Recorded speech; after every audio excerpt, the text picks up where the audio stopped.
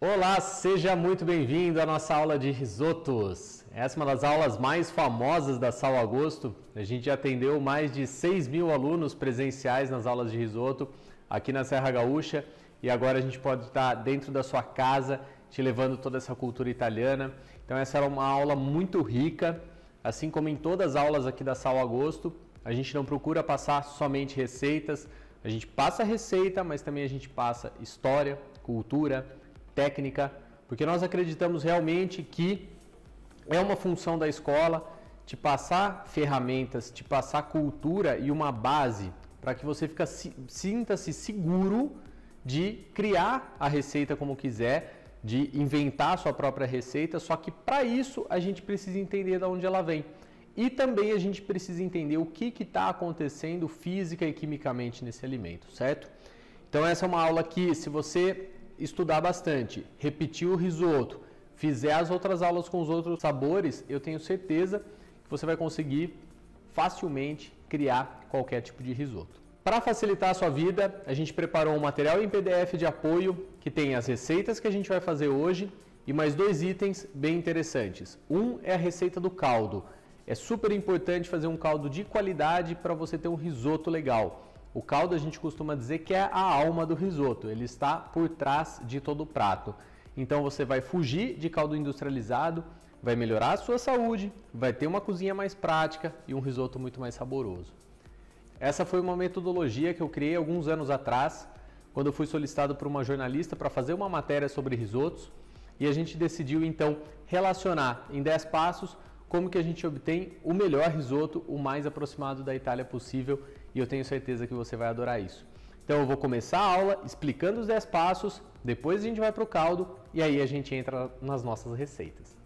O passo número 1 um é o arroz. Então aqui a gente tem a nossa essência, o nosso protagonista, e aí vale bastante história dele. O arroz, como consumido no mundo hoje, provém da Ásia a Ásia, que foi exímia e ainda é, é, especialista em cultivar esse produto, a gente tem praticamente todo o país da Ásia um tipo de arroz característico do país, além das diversas variações que a gente encontra de textura, de grão, de aroma, inclusive. A gente costuma dizer, por exemplo, que o arroz jasmine tailandês é um arroz aromático, né? O arroz basmati indiano com toda a sua característica o koshihikari japonês específico para o sushi.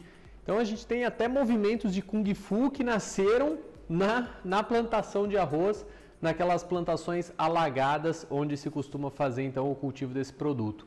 Então realmente os asiáticos dominam essa arte na Ásia. A gente vê desde farinha de arroz, massa de arroz, bebida de arroz, né, o sake, fermentado, vinagre e tudo mais proveniente desse cereal tão famoso. Quando ele chega na Europa, obviamente ele vai se adaptando e cada povo vai entendendo o que espera desse produto e os italianos acabam então desenvolvendo técnicas de cocção com um tipo de grão específico que em algum momento da história acaba ficando conhecido como risoto, uma técnica de preparo para o arroz. Se a gente for pensar, ainda hoje é uma técnica de preparo para o arroz, Porém, hoje em dia já virou um prato. Eu não preciso mais chegar num restaurante e pedir eu quero um arroz feito à moda de risoto. Não, porque se eu peço risoto, ele já vem aquele prato como a gente é, determina que ele seja tradicionalmente falando na cultura italiana. Mas se a gente pegar livros e, e história italiana de 1790, né, o mesmo 1850, a gente vai ver alguns livros escritos riso alla risotto. Então, arroz feito à moda de risoto. Isso com o tempo vai mudando e vai chegando então no prato como a gente conhece hoje.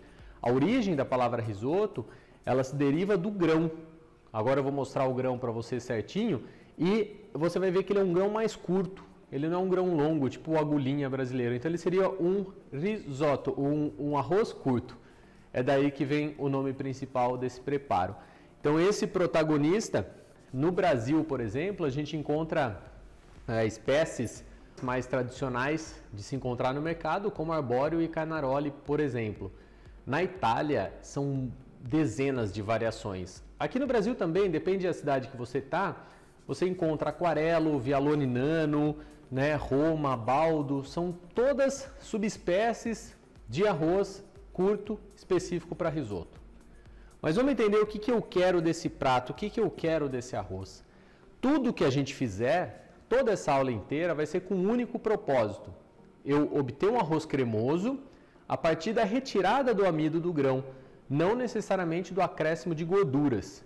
Então, desde a escolha da panela, de como eu cozinho, a escolha do arroz, tudo isso vai ser para a gente obter esse arroz cremoso. Tá? Não é simples assim chegar e jogar um creme de leite, por exemplo, no final do arroz. Vale aqui outro parênteses muito interessante, que é um respeito à nossa cultura e um respeito à nossa história. Quando eu digo nossa, eu estou no Brasil, estou falando da nossa cultura brasileira.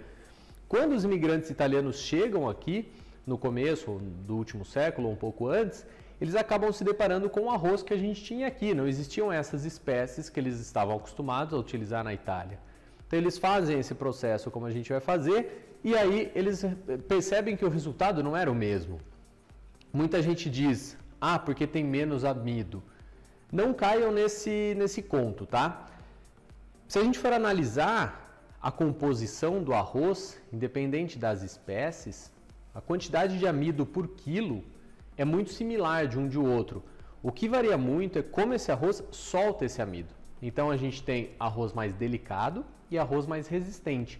Um dos arroz mais delicados que a gente tem é o koshihikari japonês.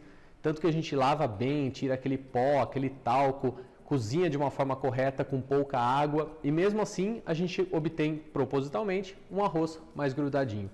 Agora, se a gente pegar um arroz agulhinha brasileiro, por exemplo, é só a gente trabalhar bem que a gente consegue ele bem soltinho, ou seja, ele tem uma resistência maior a liberar o amido. O arroz italiano ficaria no meio termo, onde ele libera se eu quiser, mas se eu quiser segurar um pouco essa, essa saída, eu consigo também. Então todo o processo para se fazer um risoto vai ser em como eu extraio o amido do meu arroz. Então aqui a gente está, está, está falando do passo 1. Na prática, o que significa para você em casa? Você vai escolher no mercado o arroz que diz para risoto ou arroz típico para culinária italiana. Provavelmente você vai ter de cara duas espécies, Carnaroli ou Arbóreo. Se você está começando no mundo do risoto, eu aconselho para o lado do Carnaroli. O Carnaroli vai te dar um, um ponto ideal ao dente, ele se mantém um pouco mais nesse ponto antes de passar. O arbóreo chega num ponto mais ao dente ainda, super interessante, só que em pouco tempo ele pode passar desse ponto. Então eu aconselho você treinar um pouco antes de seguir para o arbóreo ou mesmo para outras espécies mais específicas italianas. Como tudo na vida, né? É prática, então faça, repita, treine. O bom é que treinar na cozinha a gente pode comer tudo, né? Ou nem sempre, mas geralmente a gente come se ficou mais ou menos. Então, o item número 2, ele é fundamental porque é ele que vai transmitir o calor do fogão para o nosso alimento. Então é a panela. Onde cozinhar e com o que mexer. Isso é bem interessante você ah, prestar uma atenção, porque aqui, uma panela ideal para cozinhar um risoto é uma panela de fundo grosso. O que, que significa fundo grosso? Literalmente uma panela grossa, não pode ser aquelas casquinhas de ovo que a gente vê por aí no mercado. Então essa aqui que eu estou utilizando é uma fundo triplo, que é um sanduíche aí de inox e alumínio. Então ela transmite o calor ao invés de ser pontual, de acordo com a chama, ela aquece todo o fundo e esse fundo transmite de uma forma homogênea. E aí a gente consegue uma cocção perfeita do arroz. Se eu tiver uma panela muito fina, pode acontecer até mesmo do grão grudar no fundo e eu ter alguma coisa queimada no meu produto. Então tenho que cuidar isso. Que outras panelas, caso eu não tenha fundo triplo? Uma panela de ferro fundido, até mesmo uma panela de barro, uma panela de alumínio fundido, sendo grosso, não tem mistério. A gente vai ter a cocção perfeita para o nosso arroz. E com o que mexer? Utensílios, entre aspas, macios né? Obviamente não são tão macios, mas não são de metal. Isso é bem importante. Não pode ser de metal porque o metal agride muito o grão, ele acaba batendo, principalmente quando bate na lateral, e ele pode quebrar o grão do arroz. E eu não quero um, um risoto com grãos moídos quebrados. Então eu pego, por exemplo, isso aqui é nylon, eu posso ter silicone, madeira, bambu, plástico, qualquer item então que não seja metal para você mexer o arroz. Porque a gente vai ver que é necessário que eu mexa bastante o meu arroz para risoto para que ele fique no ponto que eu quero. Agora o que, que eu vou fazer? Eu vou pular para o item 6, porque como eu disse, o caldo é a alma do risoto. Então eu explico certinho o caldo para você e quando a gente estiver executando a receita, já estamos com esse item aí resolvido, certo? Então vamos partir de uma culinária profissional. que, que significa a palavra, por exemplo, mirepoá? Você não precisa lembrar essa palavra, mas é um mix de vegetais, mais precisamente três vegetais, que são a base dos aromáticos da gastronomia clássica. Então eu tenho, por exemplo, cebola, cenoura e salsão. Esses seriam os três itens básicos para um mirepoix. Tá, Gabi, mas o que, que é isso exatamente? O mirepoix pode nascer de diversas maneiras. Eu posso descascar todos esses elementos, bater tudo junto e ter uma pasta de mirepoix, que eu vou usar para aromatizar um molho, que eu vou usar para aromatizar até mesmo um arroz, um refogado, bem tranquilo, é uma potência de sabor. Se eu estiver objetivando um caldo, então eu vou colocar isso aqui para cozinhar em água. Quando eu estou mirando em um caldo, é legal que eu aproveite o máximo do produto. Assim eu tiro sabor e cor da melhor maneira. Então, bem higienizado, obviamente, você vai utilizar cebola com casca, cenoura com casca e os talos do salsão, né, do aipo, sem, obviamente já está lavado, sem as folhas. As folhas não vão ser interessantes num caldo porque podem trazer um amargor muito específico. Tá, mas como é que eu executo isso? Isso tudo está no material de apoio ali para você, mas eu vou mostrar aqui. Eu vou cortar a cebola ao meio, para quê? Para expor um pouco mais todo o seu sabor, para expor um pouco do seu gosto. Eu vou simplesmente quebrar a cenoura aqui em pedaços maiores e esse talo de aipo também, vou só grosseiramente quebrá-lo aqui. A mistura clássica para o mirepoix, assim como você pode ver no material, é 50% do peso em cebola, 25% cenoura, 25% talo de salsão.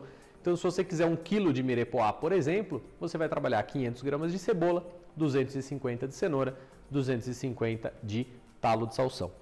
Quanto utilizar para fazer um caldo? Não existe regra aqui. Aí vai depender se você quer um caldo concentrado, para inclusive armazenar e congelar, ou se você quer um caldo diluído para já utilizar na hora. Pela culinária clássica, um caldo, uma água fervendo alguns elementos, extraindo o sabor desses elementos.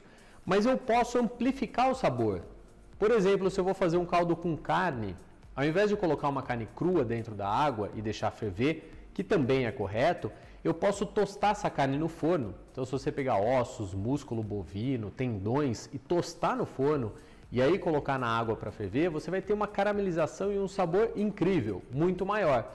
Isso você pode fazer com os vegetais também. Então, ao invés de simplesmente colocar a água aqui nessa panela e deixá-los ferver, eu vou dar uma dica para vocês terem um caldo um pouquinho mais escuro, um pouquinho mais gostoso, mais aromático.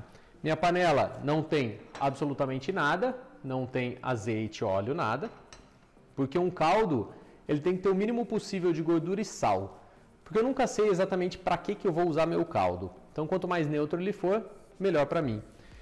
E eu vou começar a colocar os elementos aqui, a cebola, a cenoura e os talos de aipo para deixar dar uma tostadinha. Então eles vão dar uma queimadinha, vão caramelizar alguns açúcares, vão fazer uma cor interessante e depois eu acrescento a água. Se você olhar na receita, você vai ver um outro item lá escrito aromáticos. O que, que seriam aromáticos? Bom, é qualquer outra coisa que seja bacana de colocar num caldo que agregue cor e sabor. Só cuida para não exagerar, tá? Por exemplo, alho poró fantástico, é um baita aromático, dá um gosto assim muito gostoso no caldo, então eu vou deixar ali junto. Folha de louro seca, posso colocar também. Ah, Gabi, outras ervas, ervas frescas, só no finalzinho. Não vai deixar a erva fresca ferver muito ali dentro, porque ela vai amargar um pouco demais e pode até mesmo deixar esse caldo é, um pouco agressivo. Então a erva fresca é só por um momento, ela ferve e eu retiro. Mas aqui o louro seco pode entrar sem problema. Se você quisesse uma cebola roxa, ia ser legal. Eu já trabalhei com pessoas que colocavam pimentão no caldo, que colocavam abobrinha. Realidade é, não sendo nada que vá amargar ou estragar meu caldo, num restaurante, basicamente as cascas ou tudo que sobra, a gente acaba colocando num caldo. Outros aromáticos legais, por exemplo, umas bolinhas de pimenta. Não vai deixar picante e vai ficar uma delícia. Zimbro, cravo, um toquezinho de cravo, um toquezinho de canela, sem exagerar. Então aqui você vai ter o seu caldo, isso que vai ser o mais legal. Você vai criar o seu caldo e só você vai ter ele. Eu confesso, quando eu estou fazendo na minha casa, eu coloco um dentinho de alho, Eu acho que fica ótimo no caldo, ele amplia bastante o sabor. E aí, se você olhar o outro item que está na receita, diz lá aparas. Tá, mas aparas do quê? Aparas de algum animal que eu queira para preparar, ou mesmo que não seja um animal, para eu preparar um caldo específico. Então vamos lá. O caldo mãe seria o caldo de legumes. Eu posso fazer qualquer risoto com caldo de legumes. Um risoto caprese, um risoto de carne de panela, um risoto de peixe. Ele serve para todos. Quando você quer especificar um pouco mais esse caldo, você pode colocar junto com toda essa mesma base a paras de algum animal. Por exemplo, se você colocar a cabeça e espinha de peixe e deixar ferver ali por uma, duas horas, você vai ter um caldo de peixe. Se você colocar músculo bovino, caldo de carne. Se você colocar sobrecoxa de frango, um caldo de frango. E por aí vai. Por exemplo, um risoto de siri. Eu posso fazer um caldo com as cascas, com as patas do siri. E aí eu vou ter um caldo muito específico. Então, quanto mais específico for meu caldo em relação ao meu risoto, maior sabor eu vou ter lá. Mas se você não quiser ter todo esse trabalho, use o de legumes e tá beleza. Dica prática para você fazer em casa. Faz um de legumes bem concentradinho e congela ele. Quando você for utilizar o caldo, se você quiser especificar esse caldo na hora, você pega o de legumes, dilui em água e coloca as aparas do bicho ali. Sei lá, um caldo de camarão. Legumes, água, casca e cabeça de camarão e deixa o ferver por mais uma hora. E aí você vai ter um caldo mais específico. Lembra, deixa eu mexer aqui. Ó, começou a dar uma tostadinha embaixo. Vou pôr aqui para você dar uma olhada. Olha que bonito que vai ficando. Ó. Lembra, você está fazendo um alimento extremamente artesanal, sustentável, porque se você não quiser usar a cebola inteira, a cenoura inteira, você pode usar as cascas da cebola, da cenoura que sobrou do seu preparo. E além disso, zero gordura, zero sódio, zero glutamato monossódico, conservante, aromatizante, corante, né? Então, ao invés de abrir a partir de hoje uma embalagem de caldo do armário, vocês vão no freezer e vão pegar um potinho de caldo caseiro com a sua cara e o mais saudável possível. Então esse aqui é o passo número 6 do risoto, que eu já adiantei, mas ele é o passo 6 porque na ordem de se fazer o risoto, ele vai entrar ali em sexto lugar. Agora a gente vai para as receitas da aula, aplicando esses 10 passos, e eu aposto que você vai ser um craque nos risotos. Agora que eu tenho tudo bem tostado, a gente vai colocar água.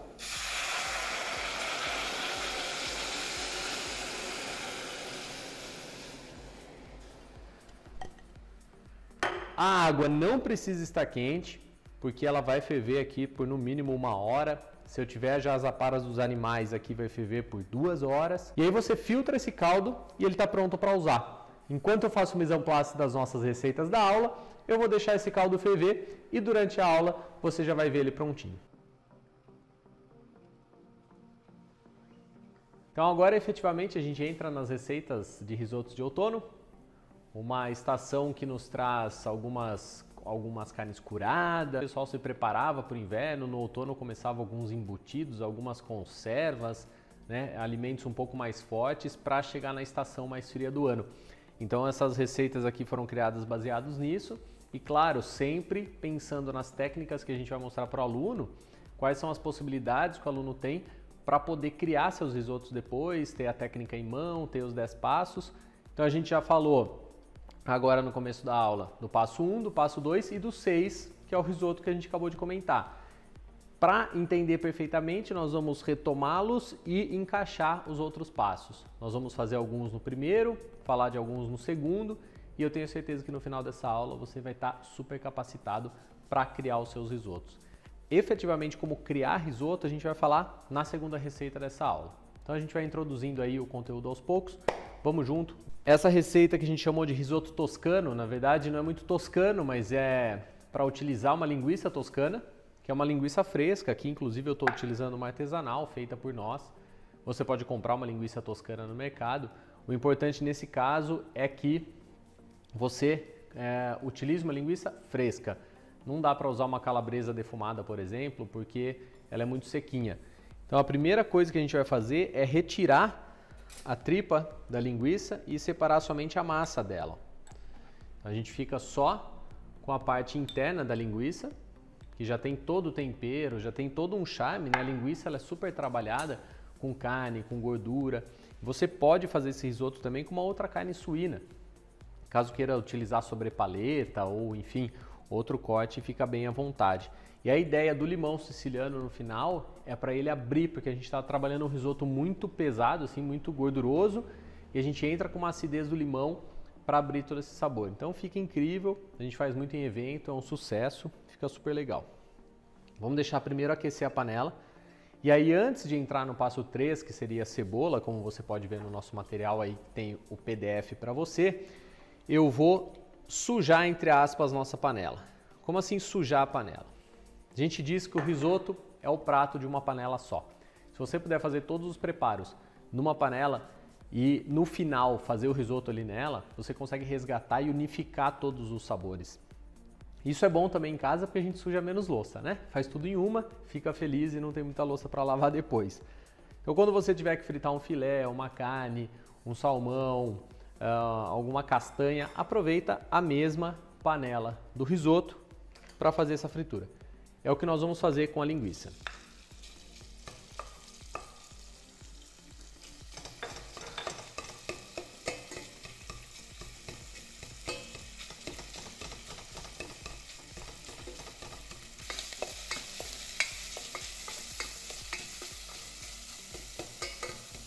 Ó, a gente começa a fritar, começa a ver que a linguiça vai soltando todos os pedacinhos. É legal a gente ajudar também nisso, para depois ter pedaços mais legais na hora de comer o risoto e não tão grandes.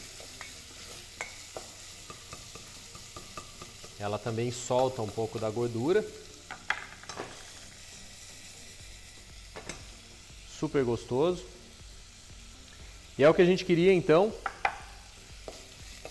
Duas possibilidades agora. Se você quiser que essa linguiça solte mais o sabor durante a cocção, a gente mantém ela junto do risoto. Se você quiser que ela fique mais é, menos cozida, coloca ela só no final. A linguiça é uma carne que aguenta bastante cocção, no caso 10 minutos.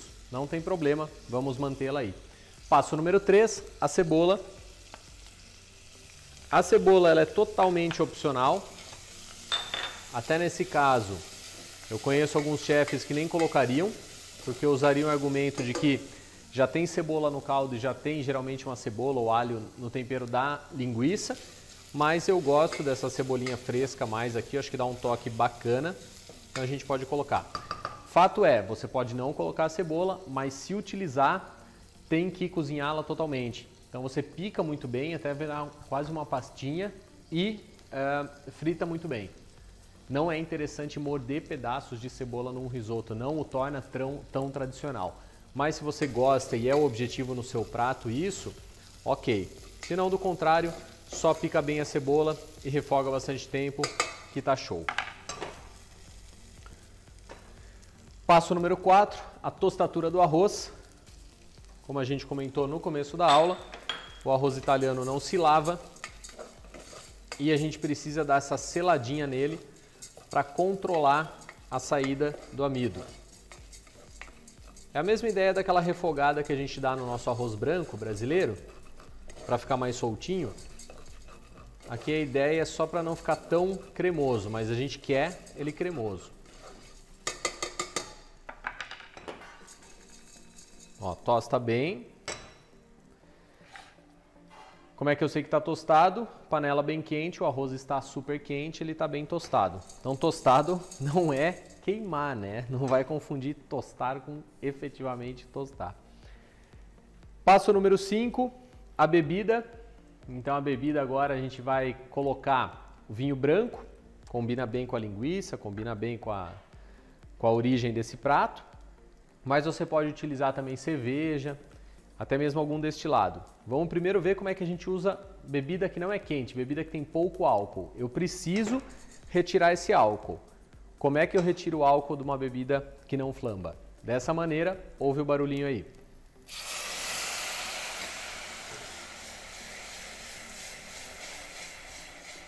Se a gente respirar aqui em cima, está o álcool indo embora e era o que a gente queria.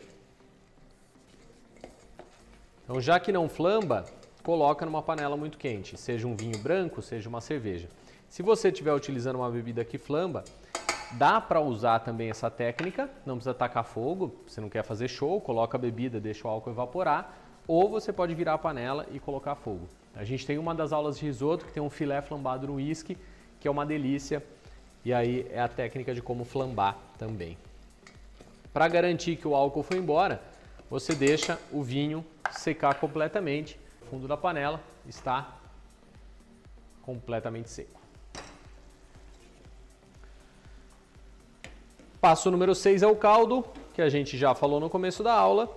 Então a gente pode prosseguir aí para o item número 7, que é a cocção perfeita do risoto. Como é que eu faço a melhor cocção possível de um risoto tradicional? É bem simples. O caldo tem que entrar aos poucos e eu tenho que mexer sempre. Então nunca a gente vai deixar com cara de sopa o risoto e obviamente nunca vai deixá-lo seco.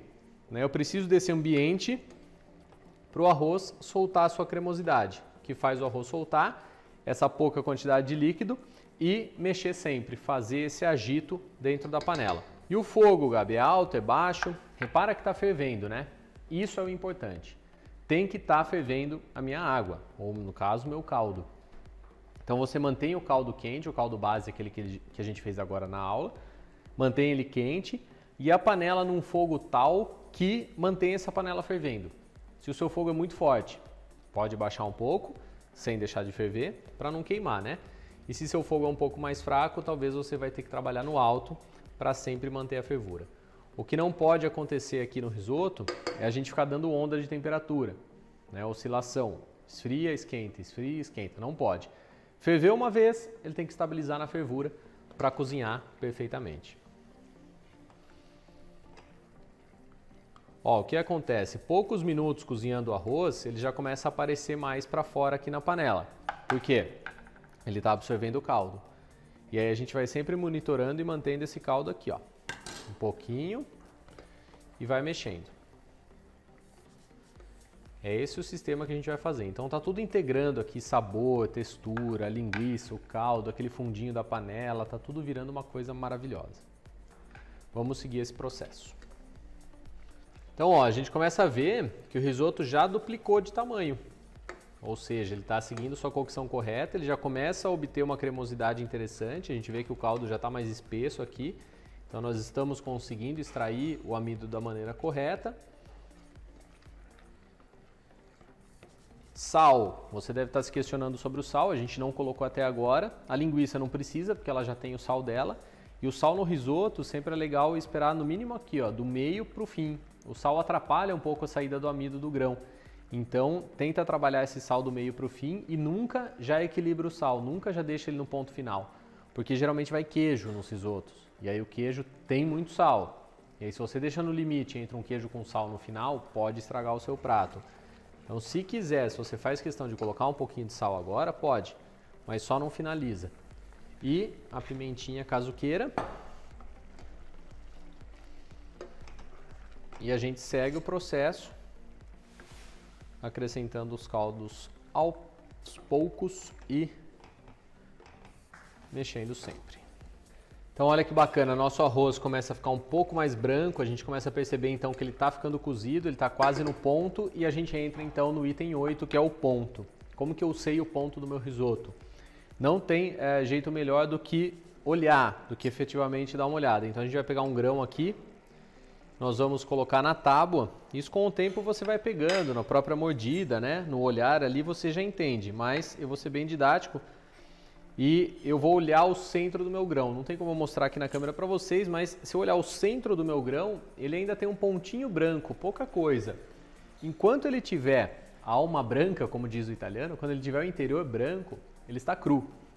A partir do momento que ele perder esse interior branco, imediatamente depois, ele está ao dente. E não entra muito nessa viagem aí de al dente italiano, al dente brasileiro, tá? Al dente é al dente. Terminou de cozinhar, ele está ao dente. A partir daí, você vai cozinhar mais ou menos, depende do quanto você gosta. Meu conselho é que ele fique sim mais al dente, que ele fique mais resistente, porque nós estamos falando de um prato onde o elemento principal é o arroz. O arroz que está, então, aí adornado por outras coisas.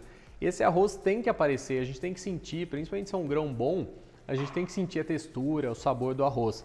Então não deixa o risoto passar demais. Se você gosta, não tem muito o que fazer, mas meu conselho é muda, começa a mudar, começa a entender esse prato como ele realmente deveria ser. Então o item número 8 é o ponto.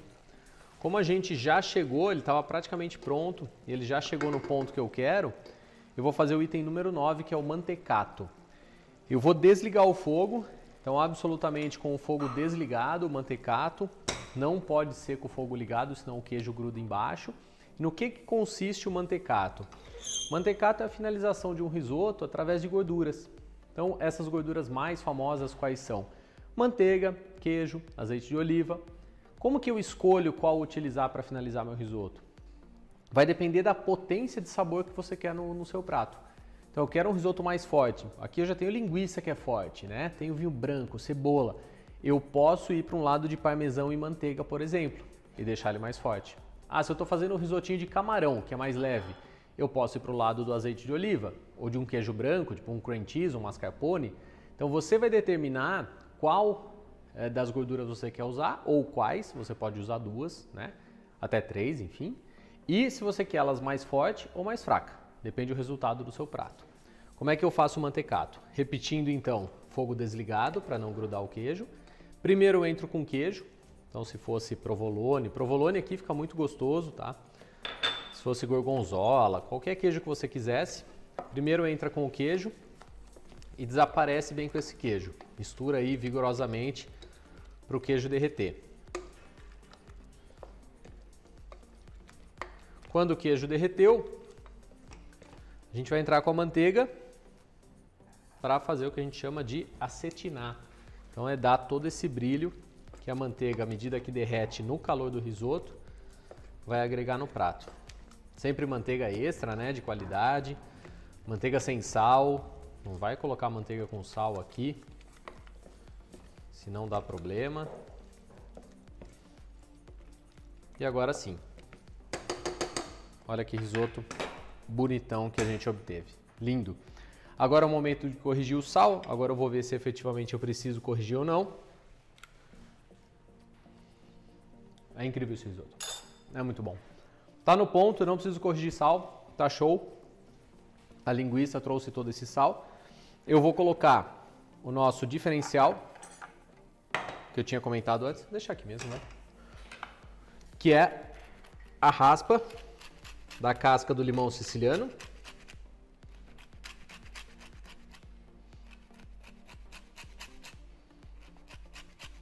Por que só a raspa da casca? Porque a casca traz aroma para nós, traz perfume, que é o que a gente chama. Ah, realmente um perfume. Fica muito bom isso. A sensação de acidez que vai dar na nossa boca, de frescor, equilibra o prato. Fora isso, ah, eu quero utilizar o suco de limão, é muito pouco agora no final, tá? Lembra que o suco de limão, quando cozinha, fica amargo. E se eu puser demais, vai ficar uma limonada, vai ficar azedo, não fica legal. Então só a raspa da casca já dá um toque muito fantástico nesse prato.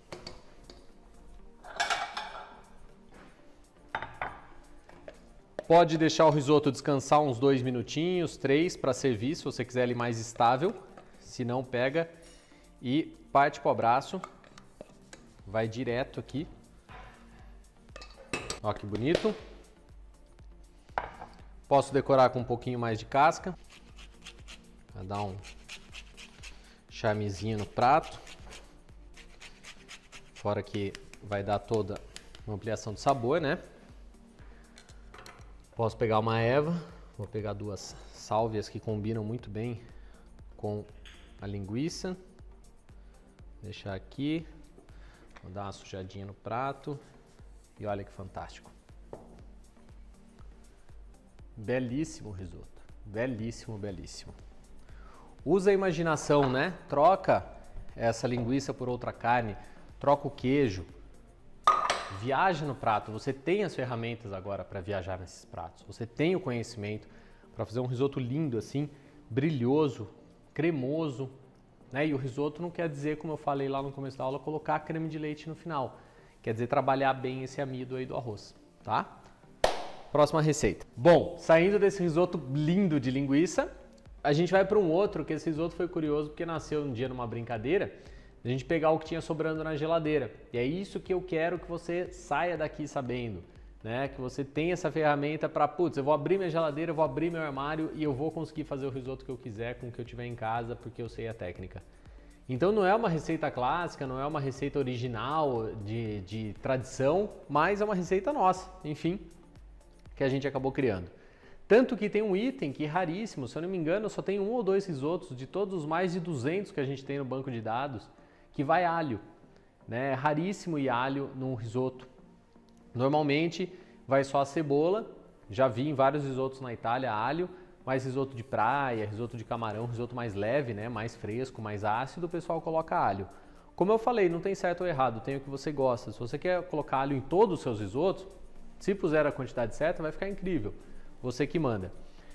Então, como é que a gente pensou? Como eu prometi, nessa receita a gente vai falar mais de quando colocar os ingredientes. Como a gente já falou, a linguiça aguenta a cocção, foi desde o início. Então, quando a gente abriu a geladeira, e estava bem fraca a geladeira, não era daqui da Sal Agosto, né? Só tinha bacon e cerveja. Acho que era a geladeira de um solteiro, porque para ter bacon e cerveja só pode ser a geladeira de um solteiro. E aí, tá, o bacon, ele aguenta a cocção, show de bola, como uma linguiça, 10 minutinhos cozinhando não vai ter problema. A cerveja eu vou substituir o vinho, vou colocar aroma, alho e cebola. E o que, que a gente pode colocar no final no mantecato? Bom, dá um toque de molho inglês para ter toda uma especiaria. O molho inglês ele é um molho que carrega muitas especiarias. Então vamos começar a fazer esse prato e bater mais um papo sobre isso. Minha panela está quente e eu vou colocar então, primeiro de tudo, o bacon. Vou até colocar um pouquinho de azeite com o bacon, mas ele já vai soltar gordura, então não preciso exagerar demais na gordura.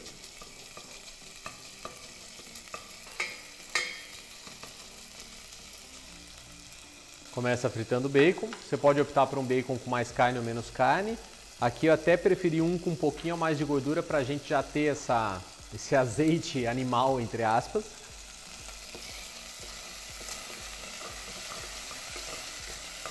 Assim como na receita anterior, nosso caldo já está quente, caldo da aula.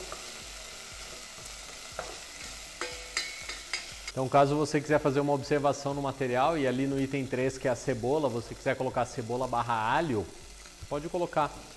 Né? Só para lembrar, acho que não precisa, mas se você quiser lembrar.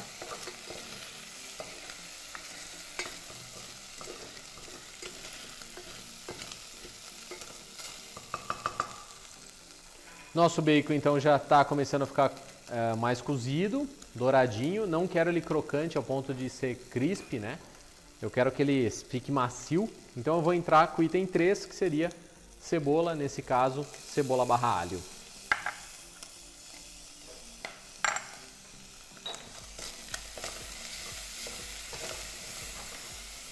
Até um pouquinho mais aqui de, de azeite. É um cheirinho bem brasileiro, né? Porque é o início de uma farofa. Bacon, alho e cebola. E assim como no risoto anterior, fundinho de panela. A gente começa a ter esse fundinho grudadinho, que é da onde vai vir toda a cor e, e, o sabor. Se a gente olhar de novo no risoto anterior que a gente fez, ele tem uma cor ó, escura, né? um amarelo escuro, um dourado. Esse dourado veio totalmente do fundo da panela. O que vai acontecer com esse aqui. Só que esse nós vamos ter um plus. Então vamos fritando bem a cebola e o alho. Agora que eles estão fritinhos, item 4, tostatura do arroz.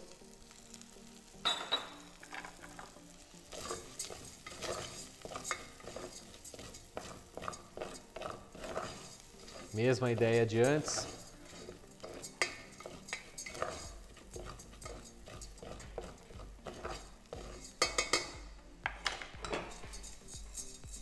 Curiosidade para você, nesse risoto eu não diminuí o fogo em nenhum momento, eu comecei alto para fritar o bacon, mantive alto ali na fritura da cebola e do alho, como era pouco, né? Se fosse muita cebola e alho, eu podia diminuir. Mantenho alto na tostatura do arroz e lembrando, assim como a gente precisou de uma panela bem quente para tirar o álcool do vinho, a gente vai precisar de uma panela bem quente para tirar o álcool da cerveja. Cerveja preta, se você quiser usar as tipo mouse beer, você vai ter um sabor mais adocicado no risoto. Eu gosto do adocicado com bacon, eu acho que combina bem. Então essa aqui que eu estou usando é mouse beer. Mas se você gosta daquela pegada de cerveja mais artesanal, cerveja preta mais forte, tipo stout, porter, né? Aí você pode trabalhar então com a cerveja mais amarga. Você vai ter um risoto mais pro denso, né? Mais pro forte do que pro agridoce. Ó nosso fundo da panela, ó. Tá limpinho já de novo. Então a gente resgatou toda aquela belezinha que estava no fundo da panela e colocamos aqui no risoto. Mesmo processo do vinho, eu vou na respiração, vou sentindo enquanto tem cheiro de álcool, eu não dou sequência no produto, eu deixo esse álcool evaporar. Nesse caso, diferente de antes que a gente utilizou vinho, vocês viram que eu usei muito mais cerveja do que vinho, né? Porque eu preciso de mais corpo. A pouca cerveja é deixar isso aqui mais cinza do que marrom. Então eu não preciso necessariamente deixar minha cerveja secar completamente, que nem a gente fez com o vinho. A gente pode simplesmente ver quando para de sair o aroma de álcool, eu dou sequência no meu prato. Não precisa então esperar secar. Mesmo porque já dá para ver uma cremosidade aqui da gordura do bacon com o grão do arroz já soltando o seu amido. Afinal, ele já encontrou uma água que nesse caso veio da cerveja. Então, vou fazer o passo número 7, que é colocar caldo aos poucos e mexer sempre.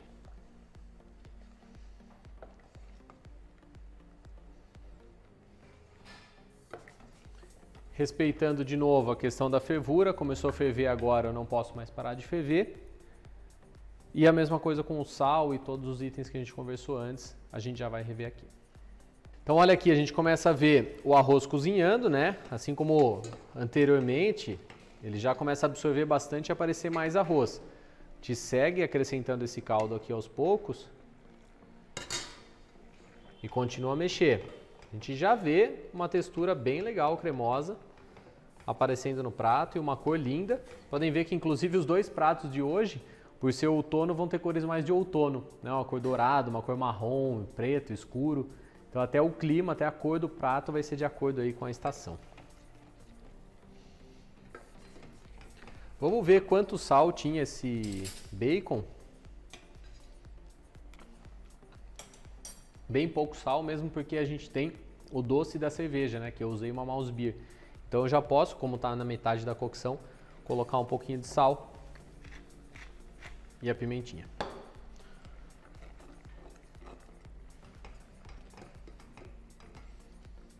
Você vai reparar que em determinado momento o arroz começa a absorver muito mais rápido o caldo. Isso quer dizer que ele está quase no fim da cocção.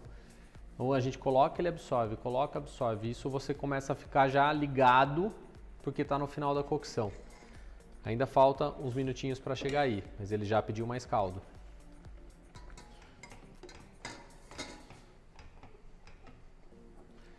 E revisando então, itens que aceitam cocção entram desde o início, itens que tem que cozinhar pouco entram só no final e aqueles que a gente só quer que solte sabor, mas que não passem 10 minutos cozinhando, que é o tempo mais ou menos um risoto, 10 a 12 a 13. Então a gente frita no começo, tira e volta no final. Olha que fantástico então que está ficando esse risoto. Ele está lindo, ele está extremamente cremoso, tá? com zero gordura extra, só aquela gordurinha do bacon.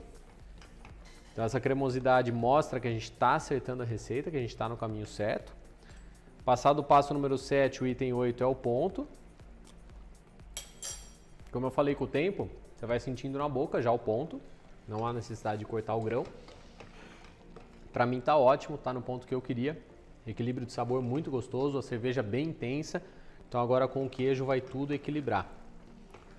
Passo número 9 seria então o nosso famoso mantecato, que fogo desligado sempre. No nosso mantecato, no caso, a gente vai colocar um pouquinho do molho inglês, então diferente dos outros mantecatos, que a gente normalmente coloca só azeite, queijo ou manteiga. É incrível. O sabor e o aroma que sobe agora é incrível. Vamos colocar o queijo. Mexer bem.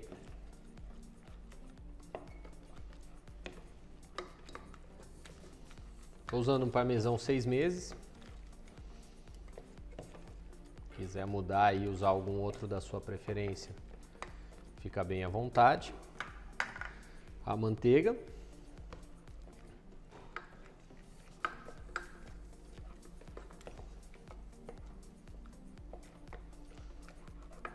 E aí a gente vai então obtendo esse brilho e essa textura incrível.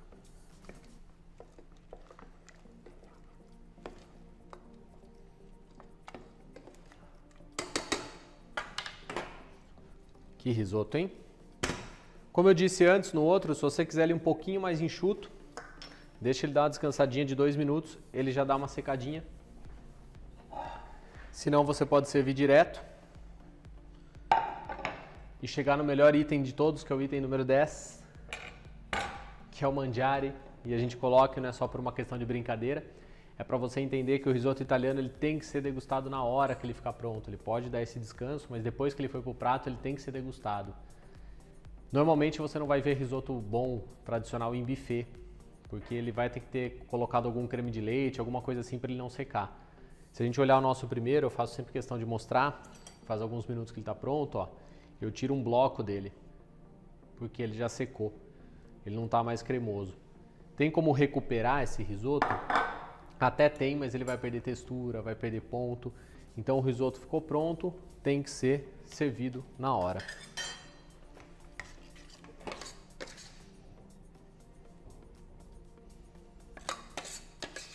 Posso servir em prato raso sim.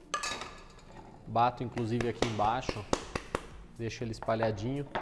Posso colocar alguma ervinha, se eu quiser espalhá-las aqui, ó.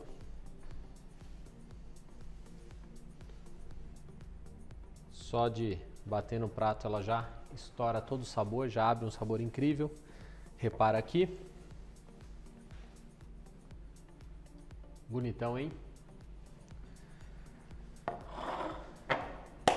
Tá aqui nossos risotos de outono, uma estação bacana, embora eu digo que risoto é que nem sorvete, dá para comer o ano inteiro. Não precisa esperar alguma estação específica.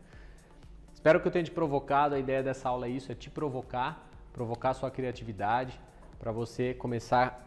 Quer começar repetindo essas? Repete. Quer fazer as outras aulas de risoto? Faz mais algumas. Pega bem a mão do risoto e aí começa a criar os seus. Eu tenho certeza que esse mundo vai te encantar.